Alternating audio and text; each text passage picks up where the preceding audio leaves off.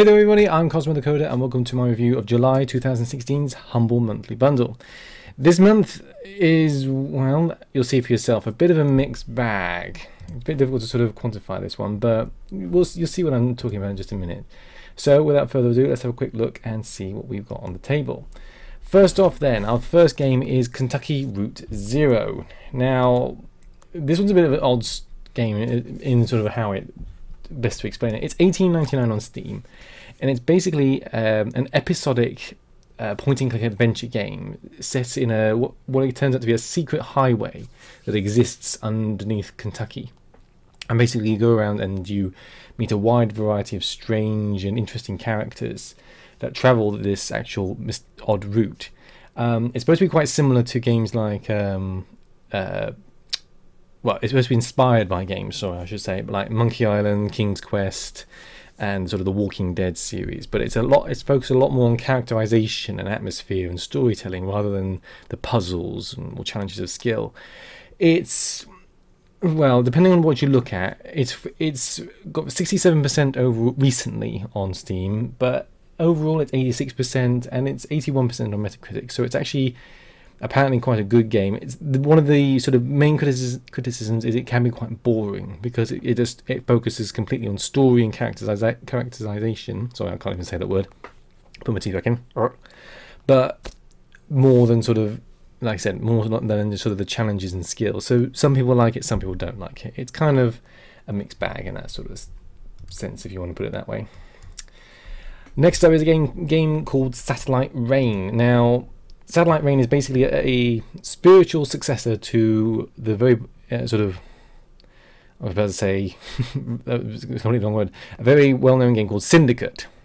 It was actually it's actually um, kickstarted with the same sort of premise that it was a, the spiritual successor to Syndicate. It's twenty two ninety nine on Steam.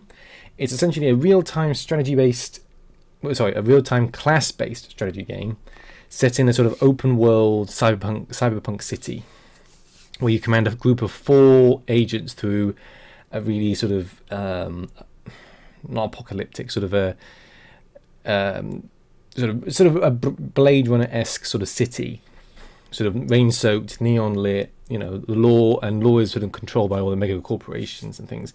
It's in the 80s on Steam. It's 75% on Metacritic. It's it's a game that, uh, again, if you're into sort of the squad-based tactical games, definitely one worth a good look at. So why not? You know, can't say much more than that. Now, depending on how you pronounce this, it's it's it's either TIS 100 or TIS 100, but it basically means Tessellated Intelligent System. It's basically a programming game made by the same people who made SpaceChem and Infinity Factory. So you basically have to. It's a lot of logic systems, and it's um, essentially uh, basically you're exploring a computer system and have to rewrite rewrite corrupted code segments to sort of repair it and unlock all the secrets buried deep within its sort of it, it, it, all of it within its systems. It's basically an assembly language programming game that no one ever asked for. it's in the high 90s on Steam. It screams to me to the programmer me to have a go at because it's it looks quite interesting and I enjoyed things like SpaceChem and everything because it's all about sort of building machines and doing things that actually do different things overall. But maybe we'll put it on my put on my Cosmo tries games list. Who knows? You know. Next up, a game that I didn't really hear of before now. Oh, sorry, TIS 100 is 4.99 on Steam. I don't know if I said that, oh, but we'll find out.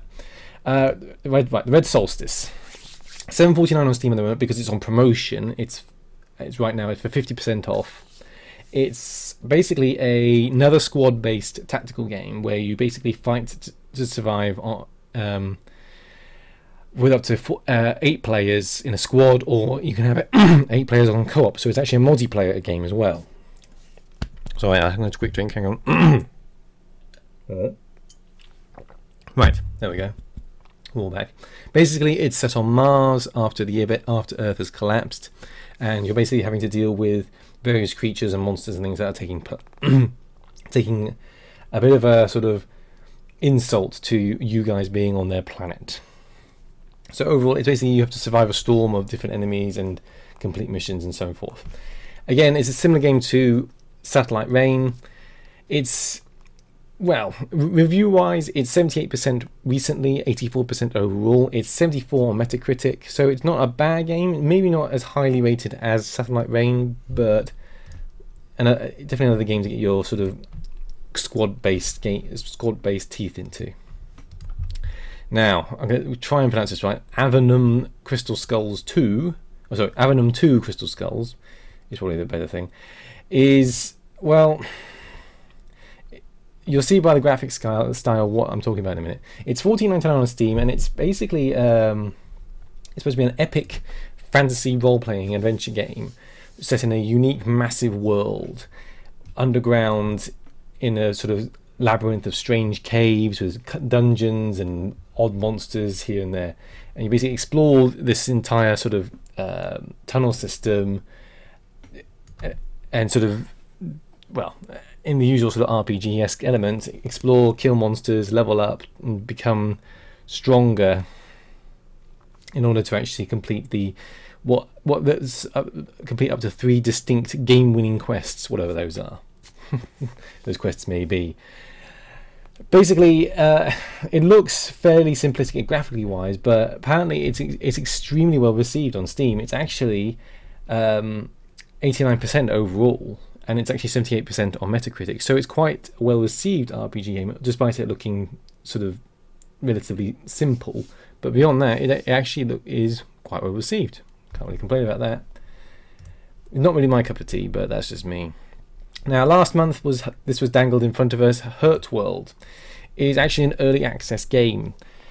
It's 18.99 on Steam at the moment, and it's basically um, along the same sort of lines as the survival first person shooter games, but it's slightly different in that it's focused more on um, sort of creating a survival progression. So rather than when you sort of get past a certain point and suddenly it's no longer a survival game, you're continuously tested.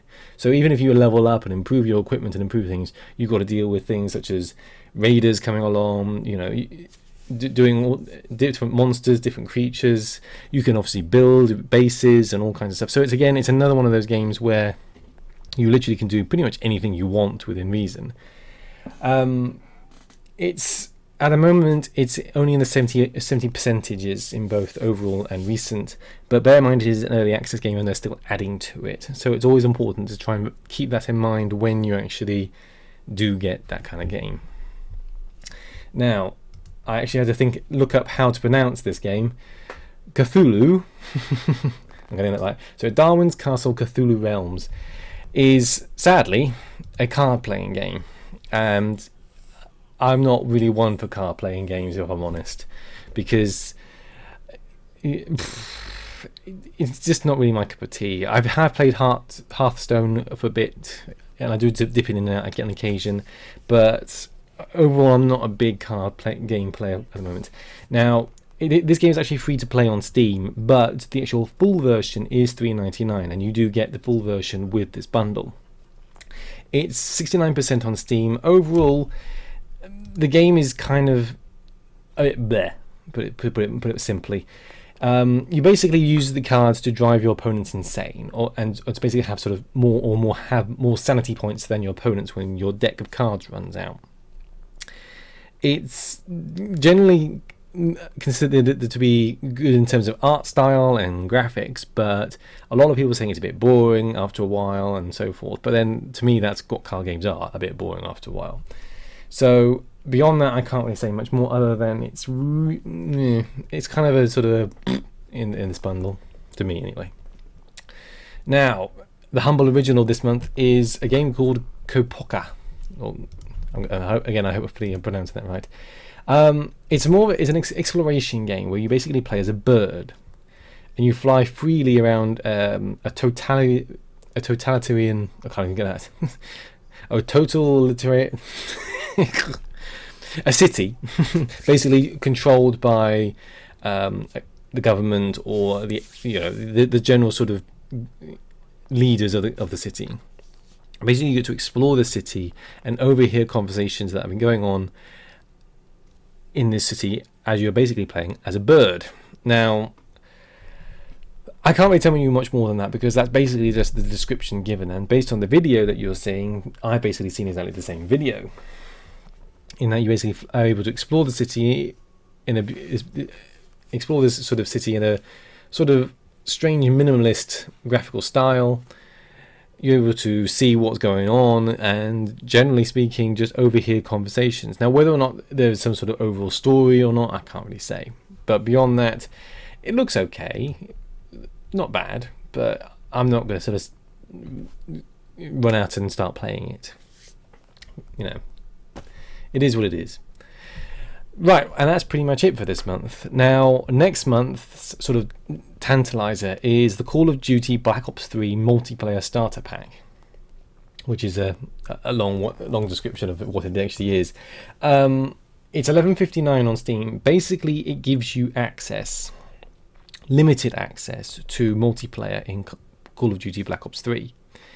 Um, how limited that is, I can't really say because I, it's not really that descriptive but essentially it's kind of them tantalizing you to go and play Call of Duty Black Ops 3. Now, I stopped being interested in Call of Duty after Modern Warfare 3 purely because I wanted to sort of finish the story with Captain Price and all that and Soap and all that.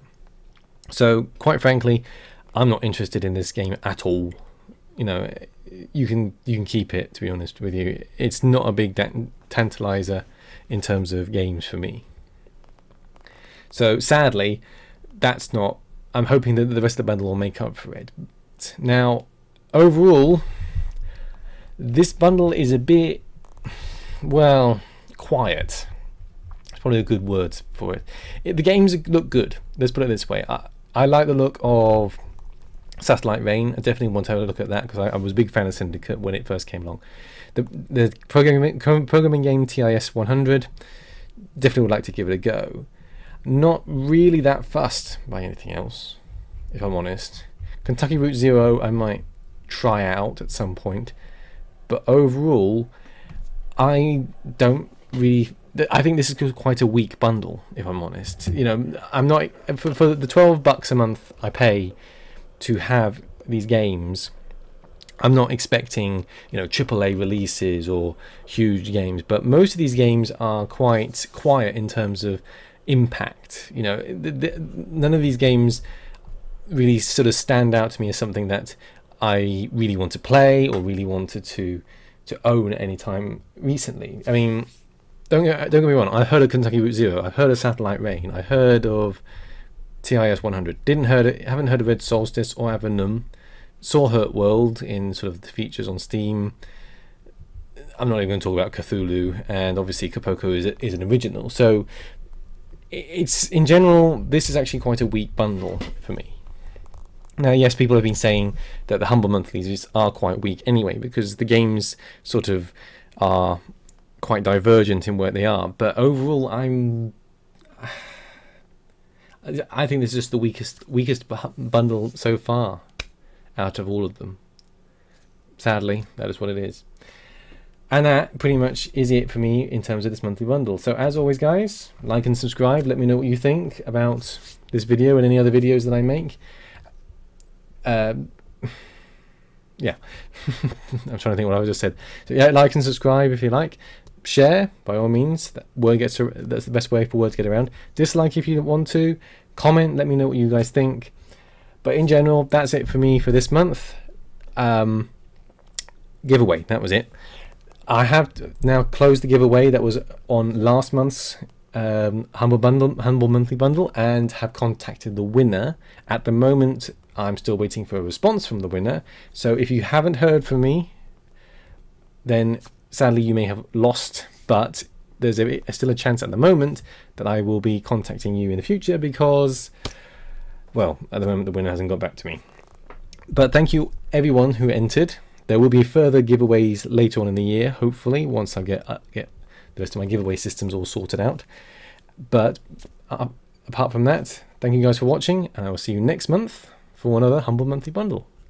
Happy gaming.